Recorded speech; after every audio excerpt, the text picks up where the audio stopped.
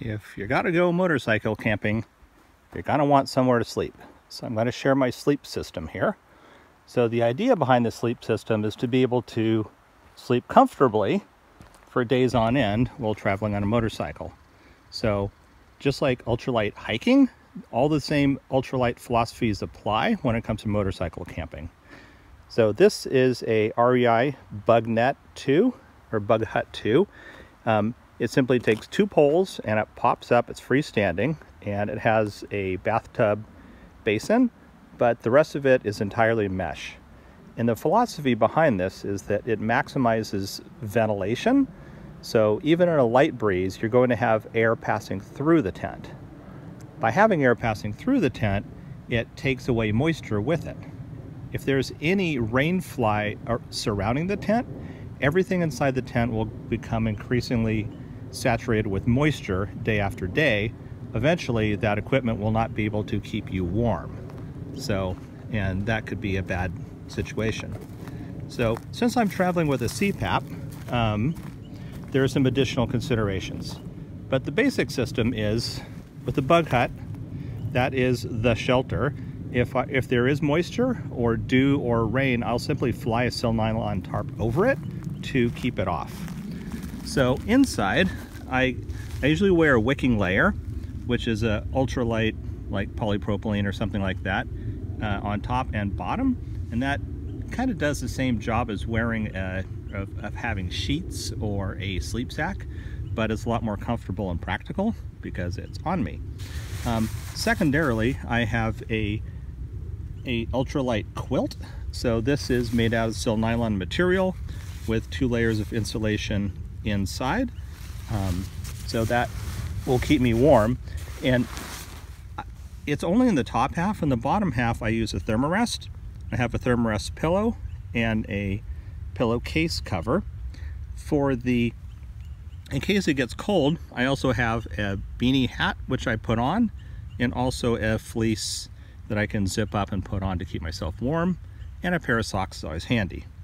So for the CPAP system, I have a mask, which was one of my old masks, and as long as you keep them clean and dry, they can last a long time when they're not being used every night. So this is a, um, and this CPAP machine is an old CPAP, it's a Respironics unit, and one nice thing about this particular unit is you can run it on 12 volt car power.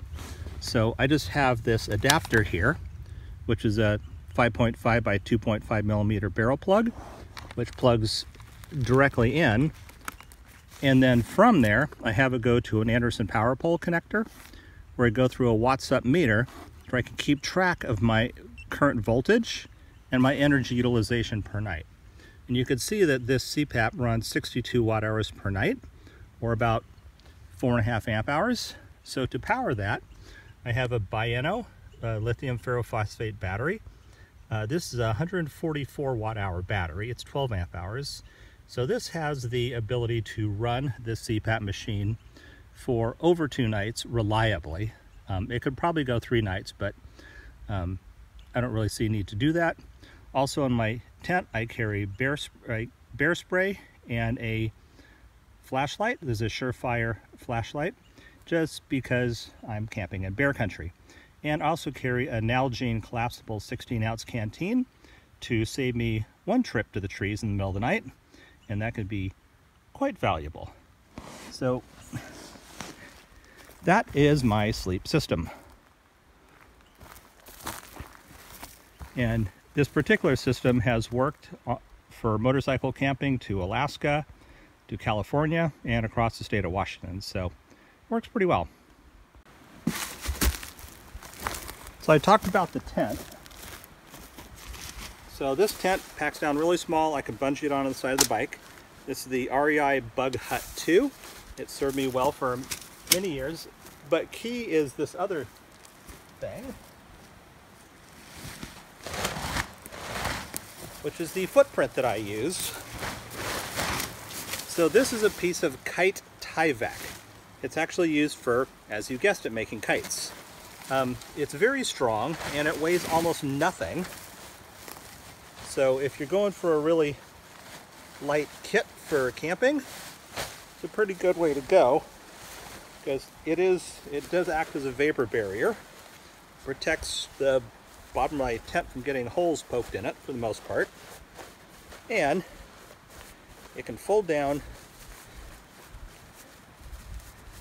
very very small so the entire thing is actually smaller than the size of a diaper when you fold it I choose to roll it a little bit longwise so I could just slip it in with my tent. And it adds almost no weight and almost no volume. So that is my tent. No discussion of traveling, even motorcycle traveling with a CPAP machine would not include a little discussion about power systems and how to keep things charged. So I have two ways of keeping things charged here. One is that this uh, Bioenno Power lithium iron phosphate battery. It's a 12 volt battery which operates and charges at the same voltage as my vehicle. So um, I can simply, you know, connect it via this charger, which will take anything up to 15 volts and output 12 volts at 1.8 amps. So this is enough to charge the battery without the battery causing a short circuit of the motorcycle's electrical system in order to compensate for the 1.8 amps on the motorcycle is I went to a LED headlight in order to reduce the current draw on the motorcycle because um, the, the stock headlight draws about 5 amps. So by going to LED, I freed up more than enough electricity to run this charger to charge my battery while I'm, I'm actually riding from point A to point B. So one thing that I always keep on this is I have this uh, WattsUp meter currently you, you could see it's running 13.15 volts. I could see how many amp hours that I've drawn and how many watt hours that I've drawn from it. So this is a, a really useful um, thing to have. I also have a four panel solar panel which puts out 30 watts and that's what is currently charging the battery.